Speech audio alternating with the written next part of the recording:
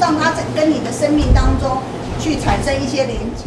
屏东来义高中每年都会鼓励学生参与全国高中阅读心得写作赛，今年送审十三件，有八件入选，更有三位学生取得特优最高殊荣。他们分别读了《如果可以简单，谁想要复杂》、关于白色恐怖的一个人孤独行走，以及叙述精神病患者的拯救一生的平淡之爱。学生表示，透过反思，也得到不少收获。可能你要学老人家的那个语气，或者是这篇故事到底在讲什么，就是要想办法的去诠释。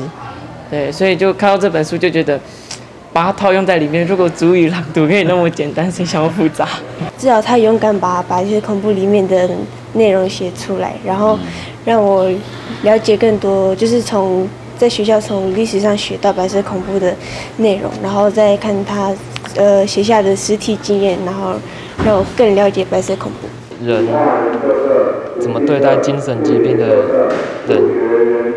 他的那个关系很重要，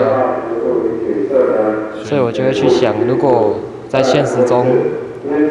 到这些人，我们要怎么帮助他们？阅读是取得知识、认识世界的重要方法，而写作是学生发挥创意、表现自己的平台。因此，虽然推动阅读心得写作不容易，老师们仍然陪伴鼓励，可以让我们更着力到让学生第一个阅读好书，第二个去发掘内在生命当中需要去思索的这个部分。如果他今天有阅读的习惯，而且他也有表达自己的一个方法的话。我觉得他会在读书方面有一个成就感，那这个成就感就可以扩散到做其他事情方面，他就不会觉得自己好像这个也不行，那个不行。他其实先得到第一步成就感之后，我觉得他们就会在学习上有热忱，然后认为说自己也可以，然后甚至可以更好。指导老师认为，部落孩子思想天马行空，情感丰富，需要的只是陪伴和肯定。这支成果希望成为他们能带着走的能力。